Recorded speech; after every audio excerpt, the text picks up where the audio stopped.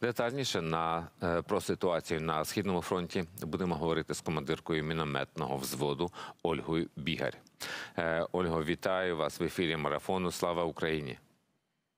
Героям слава! Е, Тож, яка ситуація зараз на східному фронті? Що відбувається? Хочу зазначити, що інтенсивність боїв на Бахмутському напрямку не вщухає. Напроти ворог підтягнув нові резерви і посилив артилерійські обстріли. Як ви дуже правильно зазначили, РСЗВ, зокрема відпрацьовувала по місту знову ж таки проламати лінію оборони по фронту, е, по східному фронту в місто. Вони досі не здатні, тобто вони там дуже несуть великі втрати. Обходять, намагаються обійти по флангам. Ну, в принципі, ситуація схожа на ту, яка в Авдіївці відбувається зараз, і е, власне вони зараз посилили всі свої сили і всі ресурси, докинули на південний напрямок для того, щоб обійти ближче до Костянтинівської траси. Однак там е, дуже вдало були проведені дестабілізаційні дії. Ворога зупинили. Е, були були підірвані мости. Ці мости вже й до цього були такі, скажімо, побиті ракетами ворога, але вже на цей раз відрізали повністю сполучення по трасі Костянтинівській і таким чином зупинили просування ворога. Щодо того, що немає зараз можливості в'їзду, в'їзду в'їзду, виїзду в Бахмут, це трошки неправда, тому що ще є дороги, якими ми можемо проводити сполучення і логістичне забезпечення військ, які знаходяться в Бахмуті. Ну і в принципі подаль подальшому тримати оборону у нас є можливість. Ольга. Ольго, ви говорили про посилення е, атак ворога і посилення підрозділів. Е, якими власне підрозділами, якою технікою вони себе підсилили? Вони посилюють себе, продовжують посилювати піхотними підрозділами, тобто це штурмові підрозділи. На рахунок бронетехніки е, не можу вам сказати, що в них відчувається посилення з цього питання. Скоріше навпаки, порівняно з тими діями наступальниками, які вони чинили у вересні, у е, серпні, то зараз в них дуже різко знизилася кількість бронетехніки. Продовжують працювати е, системи е, артилерійського вогню, ствольна артилерія. Щодо літаків, так само дуже сильно знизилась інтенсивність вильотів, тому що порівнювати є з чим порівняно з тим, як по тричі на день були вильоти авіації. Зараз вони значно послабили це, тому що у нас краще почали набагато краще сильніше працювати е, протиповітряна оборона.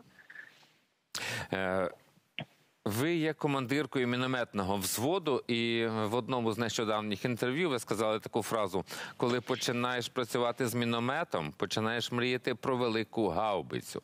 Отже, тепер давайте про е, зброю з нашого боку. Чи вистачає зброї, і, зокрема, тих гаубиць, про які е, про які ви мрієте? Е, щодо тої зброї, яка нам зараз необхідна, це перш за все бронетехніка, тому що е, зупиняти. Зрозуміти правильно, артилерія вона може нам дати можливість втримувати тили ворога на певній відстані. Тобто артилерія не може е, посунути ворога е, назад. Для того щоб просуватися, нам потрібні потрібна бронетехніка і штурмові підрозділи, які будуть просувати ворога е, назад. Артилерія вона відпрацьовує досить непогано зараз і ефективно порушуючи бойові порядки нашого окупанта, е, знищуючи його тилові е, системи забезпечення.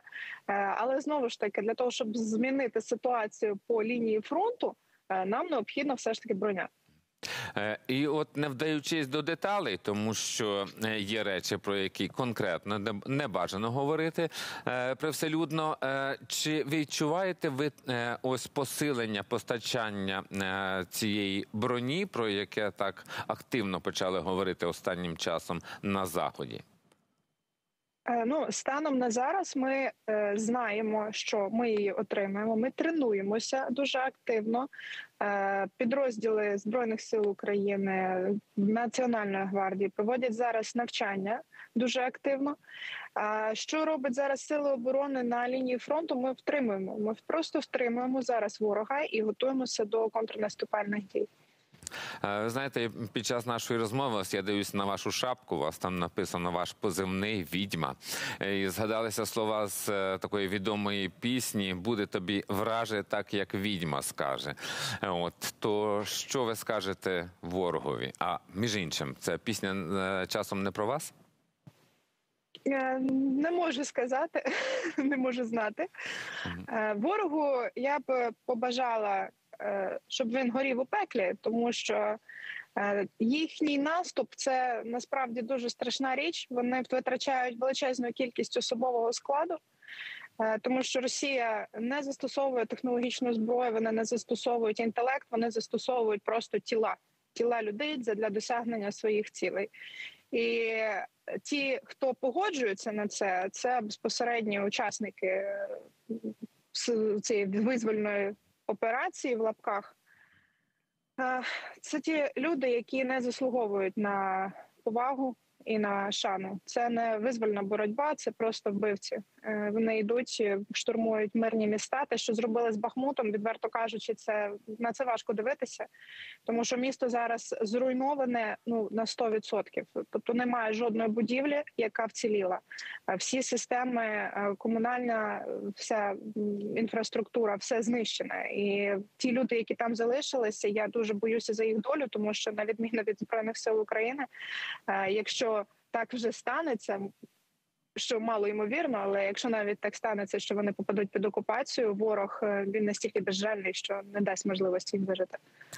Але рано чи пізно буде так, як сказала відьма в нашому ефірі. Горітимуть у пеклі.